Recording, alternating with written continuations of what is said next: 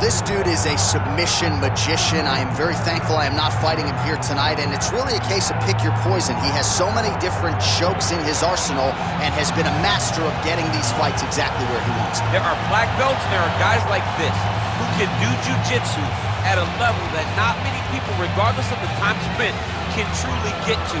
His understanding of position is truly unbelievable. He always has the frame. The moment you start to press into him, he's always underhooking, always looking for the next escape route, but not to get back to his feet. Right. He wants to go from bottom to top.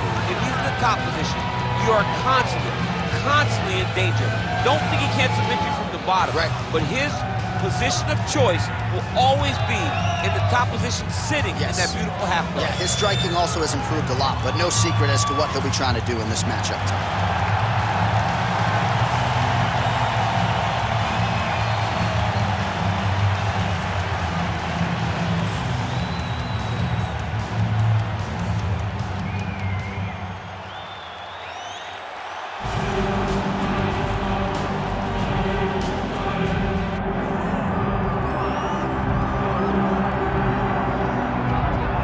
goodness, a pinch yourself moment. Did you ever think you would hear this song and Fedor Emelianenko making the walk to the octagon? It finally happens tonight. I mean, everything about this man is iconic.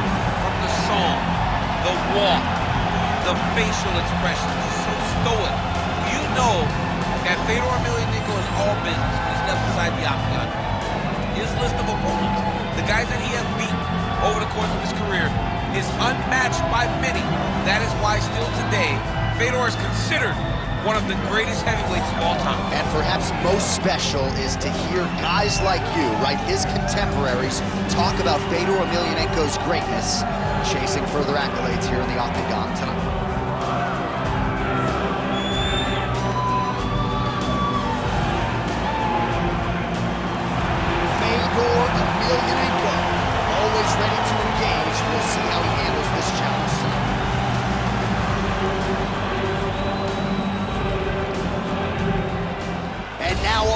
The tape for this heavyweight fight.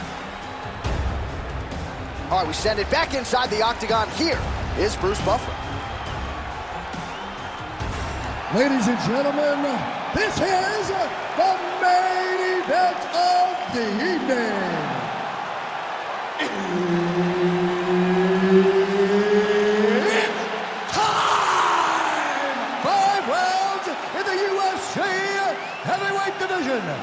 Introducing first, fighting out of the blue corner,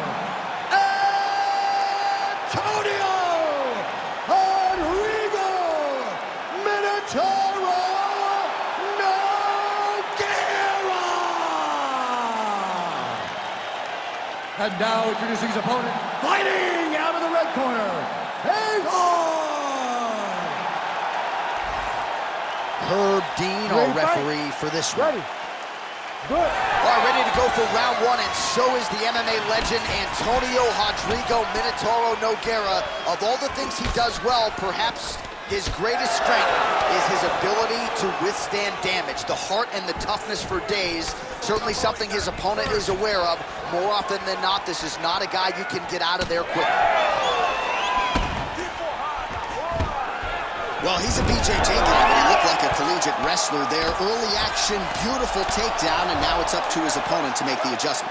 He's going to have to make a lot of adjustments. He's the more well-rounded guy. He should be the one with the more complete skill set. He's got to stay at range if he wants to stay upright. Nogueira's looking to pass into half guard here, but he's denied. Great job landing the strike from his back. All right, the referee not seeing enough action there. We go back to the center of the octagon now.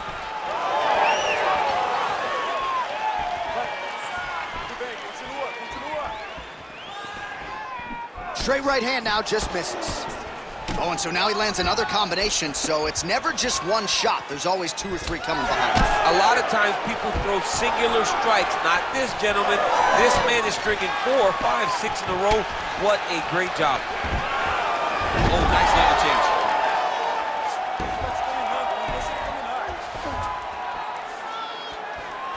Nice positional control here.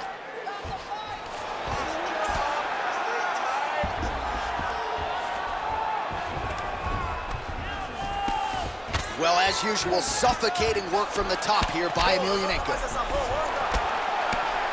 And the referee brings the fight back to its feet. No surprise there. Needed to see more action.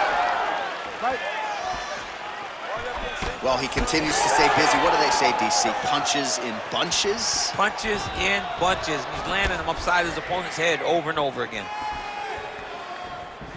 Nice body shot there. He's got to start kicking, kicking the body, kicking the head. He's just got to start kicking. Man, both fighters realizing a lot of success early. Back and forth we go. Nogueira gets yet another takedown.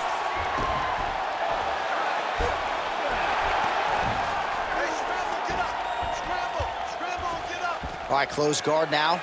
You got to be careful, though. He's got a lot of submissions off his back. Nogueira's in half guard now. All right, side control now. We'll see if he can advance position. 45 seconds remain in the round. Beautiful movement, hip work on the ground here, just outstanding with the transition. He is not staying in one place on the ground, and that's very important. Oh, nice. All right, he's in a half guard position here, DC, and in a good spot to dole out a lot of damage, I would think. A lot of damage can be done from the half guard. You sit back on that leg, you press down into your opponent, you drop elbows, you drop punches.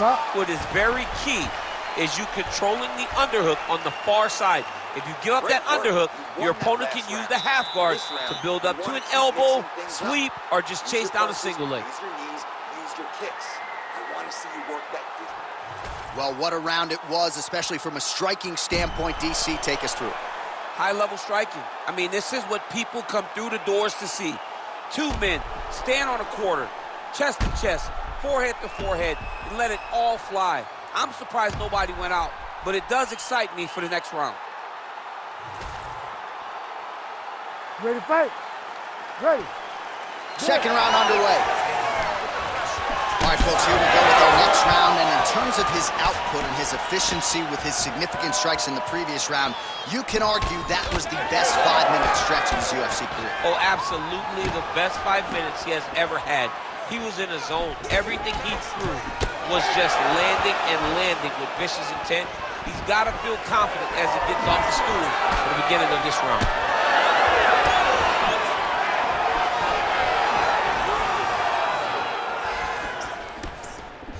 Fighters exchange in the pocket here. Missed with that attempt.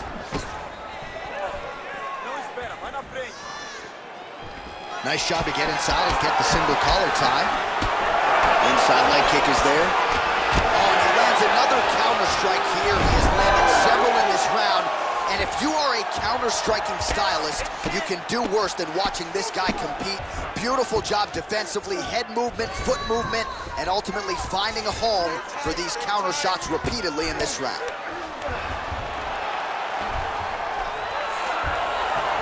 Well, maybe ill-advised to be competing off your back, but he's landing.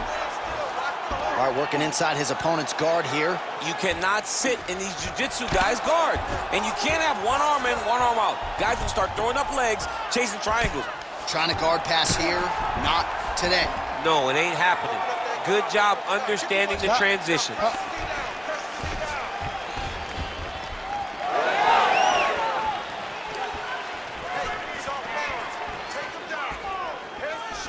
Nogueira gets hit with a kick. Yeah, he's got to. He's got to start checking kicks.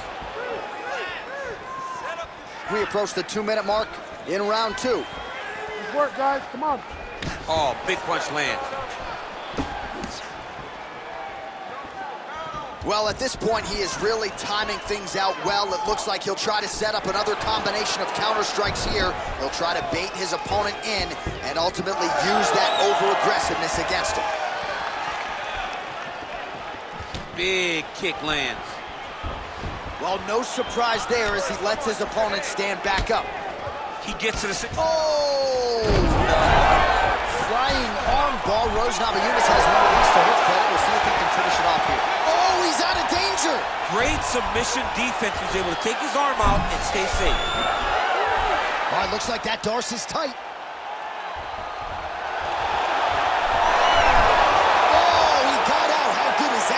Guy is so aware. He never leaves anything long to allow for himself to get subbed.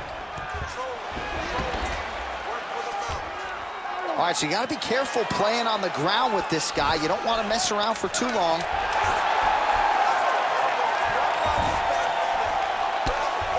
Two rounds in the books.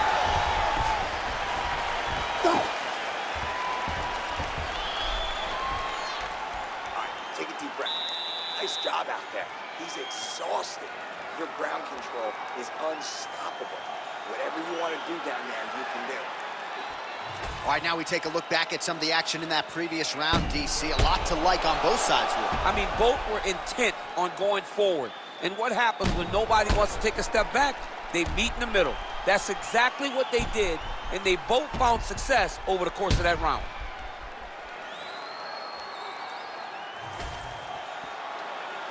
You ready to fight?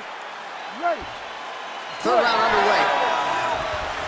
All right, here we go as our next round gets underway, and his counter-striking is so good that it gives his opponent pause in terms of getting his own offense going because as soon as he strikes, he's getting a mouthful of teeth.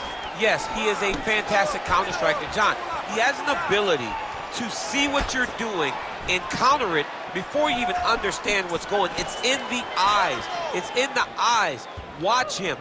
He is watching and processing what's about to happen and countering the moment his opponent tries to attack. He's in the mount.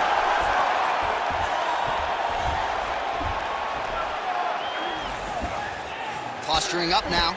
And now the damage is about to start.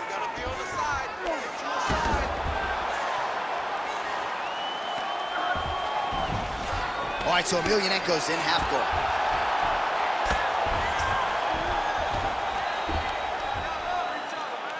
Oh, the ground and pound is there.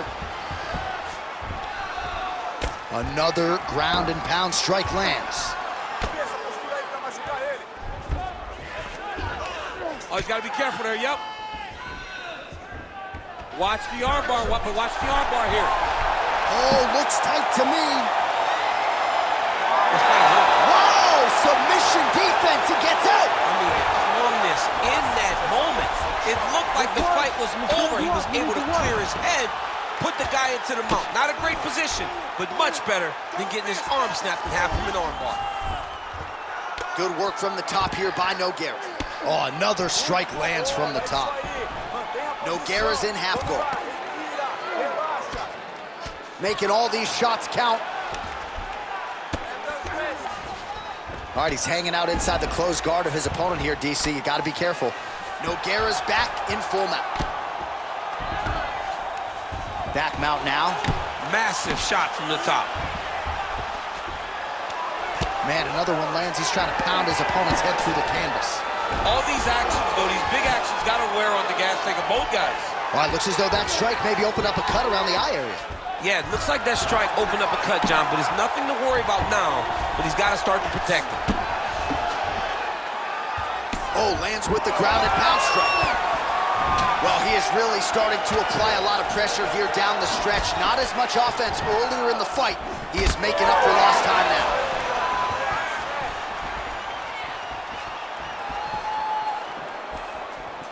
Final. Feels like the beginning of the end.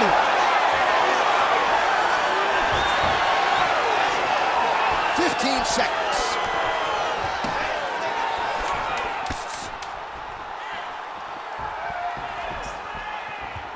And that'll do it. 15 minutes in the books.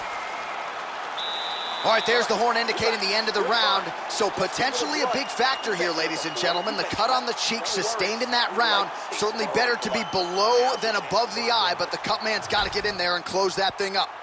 All right, back to the stools we go, and it's starting to look like a second mouth on his cheek. Yeah, it looks terrible. I mean, the guy is getting hit with big shots. One big enough to open up a nasty cut on his cheek. While it's in a better spot, it still is very difficult to deal with. Like if he absorbs another strike on that cheek, he might Ready, actually fight. be able to eat through Ready. that cut on his cheek. I'm just saying. He's got a big mouth. Oh, and he tags him with the straight. Nice job there by Emelianenko. Well, just as he did in the previous round, he continues to connect on a high volume of strikes. And a good sign, too, doesn't seem to be slowing down whatsoever. Oh, great, great level change there. Oh, nicely done there as he escapes back to his feet.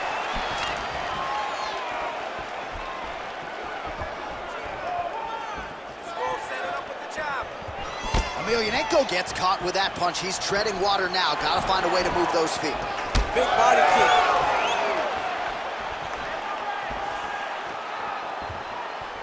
Straight right hand, no good. Oh my goodness, these boys are going at it. Oh, how clean is that jab by Fedor?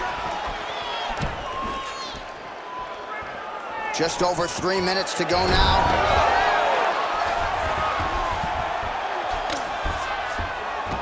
Got his guard pass.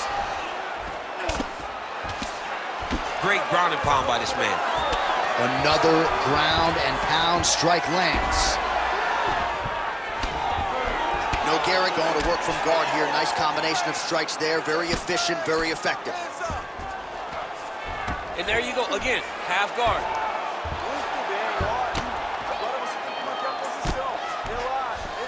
Well, we'll see if he postures up and can get some of his ground strikes going here. Yeah, he's in half guard here. A lot of top pressure being applied here as he works out of side control.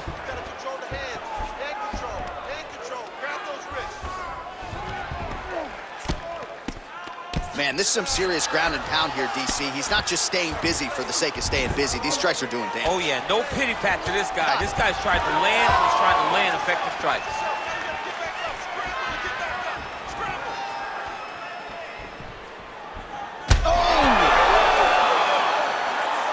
Lands a big elbow there. Huge left hand.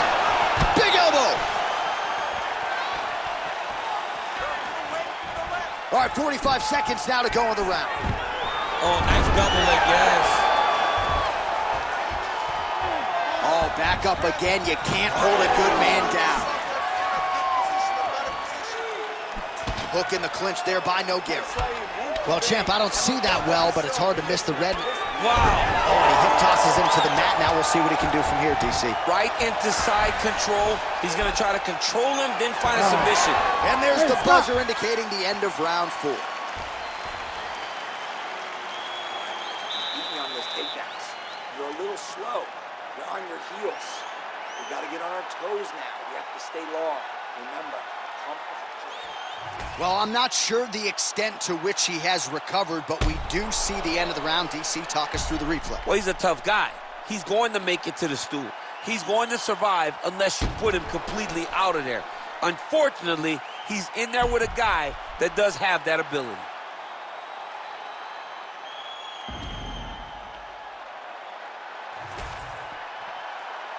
You ready to fight? Ready. Fifth and final round, forthcoming. Well, there was a moment in that previous round when it looked like we weren't going to get to this next round. Here we are. We will see the extent to which he has recovered. Let's see how he recovered over the course of that minute. They were putting water over his head. They were trying to bring him back, but I would advise him. He got him hurt bad here.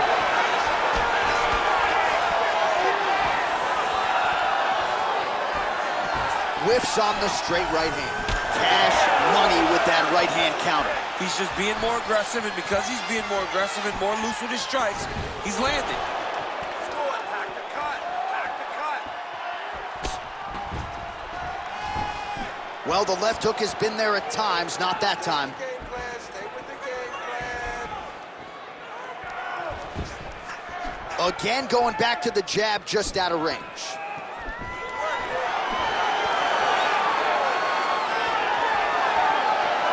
On the right hand. Just over three minutes now to go in the fight. All right, so now blood is a factor. You see that he has been opened up in that eye area. Yeah, he's got hit in the eye, and now there's a cut. But it's nothing to worry about too much now. But he's got to be very careful with it as we go forward. And that's, that's the danger in the engagement there. Oh! Yeah, he's hurt really bad.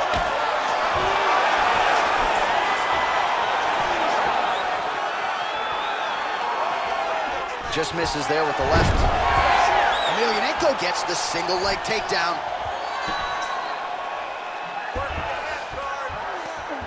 Oh, and he escapes up to his feet. Very nice. Oh, he did a great job of rotating him into an underhook. Collar tie here in the clinch. Able to land with the left hand. All right, so the swelling becoming a real factor right now. Did they inject something into his face, or is he just swollen from the stress? Swollen from the stress. Oh, oh! my goodness. Yeah, man, crowd loving it. Just a gorgeous shot there to end the fight. Really just the way he drew it up. He found the opening and capitalized on it to the utmost extent. Nicely done to finish the fight.